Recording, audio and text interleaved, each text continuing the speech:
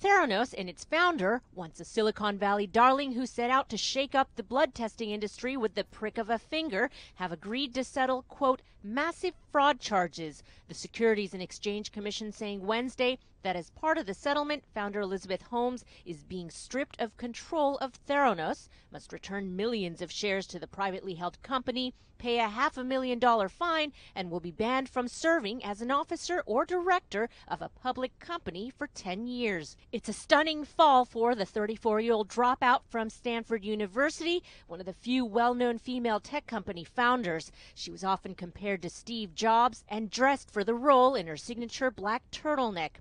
Her company, once valued at $9 billion, making her one of the youngest self made billionaires before her reputation was ruined following a Wall Street Journal report in 2015 that suggested Theranos' devices were flawed and inaccurate. The SEC's complaint alleges Holmes made numerous false and misleading statements in investor presentations, product demonstrations, and media articles.